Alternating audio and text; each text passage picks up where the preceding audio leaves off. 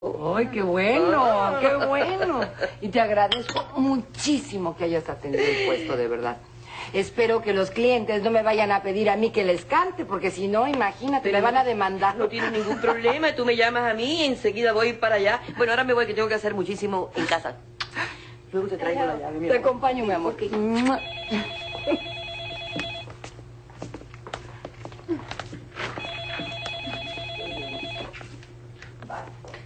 Dígame. Nicolás, no me imaginé que fueras tú. Te estaba llamando para invitarte a almorzar. ¿Te gustaría? Por supuesto. Bueno, entonces paso por ti como las doce y media. Hasta luego.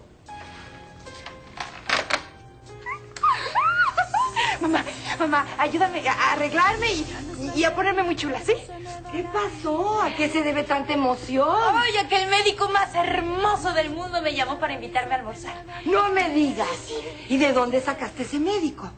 ¿Cuándo lo conociste si acabamos de llegar de viaje? No, es que no fue ahora, mamacita, fue hace muchos años. Fue una vez que, que te acompañé al hospital. Ay, por lo nerviosa que estás, se me hace que ese médico te encanta. Ay, sí, mamá. Ayúdame a cambiar, ¿sí? Ayúdame a ¿Qué sacar... te busco? ¿Lo- ¿Los La- la- jeans? No, no, no. La, La- amarilla. A pesar de todo lo que te conozco, todavía me sorprende lo cínica que eres. Oye, no puedo creer que me estés llamando para decirme que te vas a reencontrar con tu amante. Lo voy a hacer. Y te lo cuento para demostrarte que me puedo burlar de ti cuantas veces me dé la gana. Y que te puedo humillar buscándome otro hombre, Eduardito. Hace años te dije que si querías divertirte o degradarte o como quieras llamarlo en brazo de otro hombre, a mí eso no me importa en lo absoluto. La única que se rebaja como mujer eres tú. ¿Realmente es tan insignificante para ti que yo tenga otro hombre? No me importas como mujer. Vive tu vida como yo vivo la mía. Pero hazlo discretamente, porque no estoy dispuesto a tolerarte ni un escándalo más. Y esto te podría costar el divorcio y alejarte para siempre de tu hija.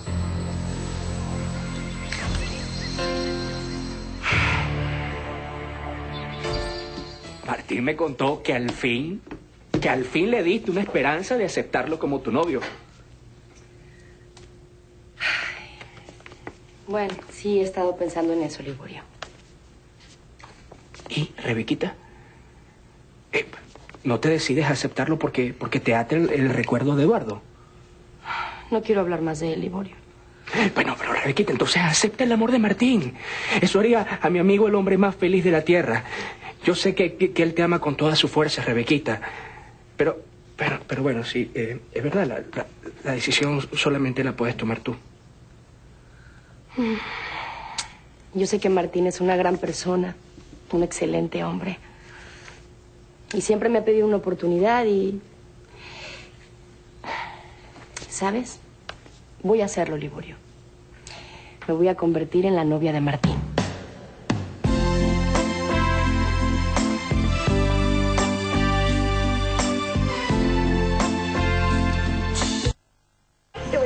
Conocer unos sitios divuti. Mm. Enrique, ¿cómo está? Mire, quiero presentarle aquí a mi tío Sinforoso. Él acaba de llegar de Venezuela y se va a quedar con nosotros una semana. Oh, ay, pues, encantada de conocerlo. ¿Sinforoso? Sinforoso. Usted es Pétara, la cantante más famosa de tangos del mundo entero. Oh, sí, sí. Esa soy yo, sí, soy yo. Yo tengo guardados como si fueran de oro todos sus discos. ¿De veras? Ay, yo no puedo creerlo, de veras Pues que... créalo, créalo. Porque no solamente yo, muchas parejas se enamoraron escuchando sus tangos. Usted era la mejor de su época. Ay, me llena usted de tantos halagos que me siento así como ruborizada, y esto a mi edad.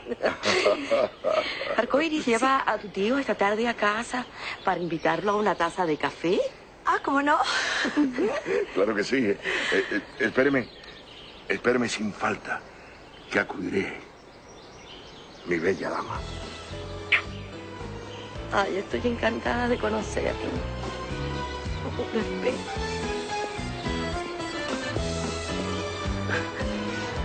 Pero tío, estás perdido y atracón. Sobrina, mírame. Creo que me acabo de enamorar. Ay.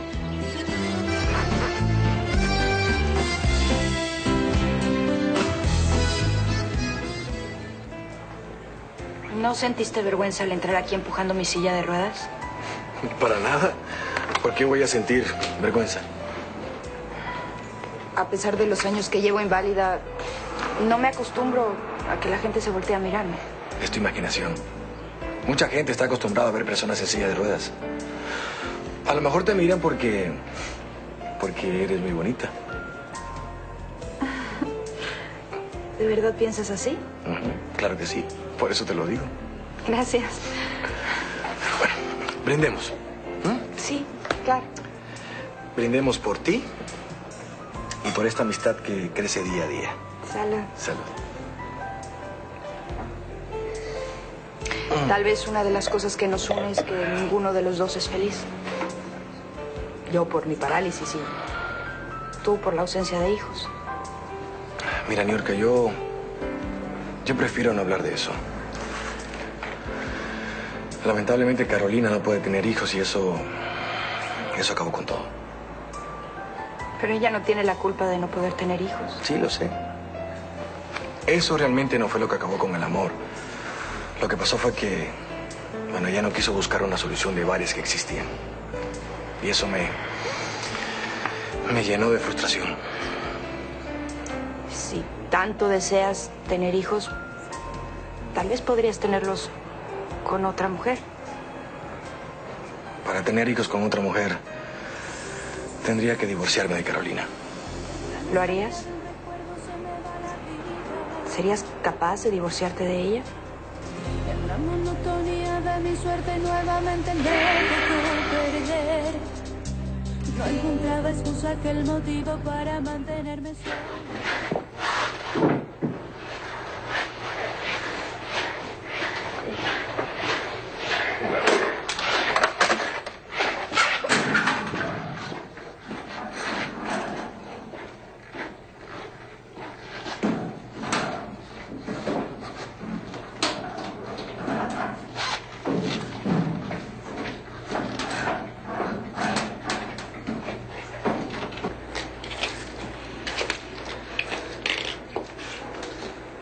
Martín, Cuando caliente el sol aquí en la playa. Bueno, Rebequita, si tú quieres, puedo llevarte a tu casa. Gracias, Liborio. Nada más guardo mis cosas. Maestra linda, ¿me acompañas al patio para esperar a mi papito Eduardo? Para que lo conozcas y vea lo linda que es usted. Mi amor, mira, te prometo que otro día voy a conocer a tu papá. Pero ahora no tengo tiempo porque mi amigo vino a recogerme y ya me voy. Está bien. Hasta mañana, maestra linda. Hasta mañana, mi amor. Dame un besito. Preciosa. Que Dios te bendiga, mi amor.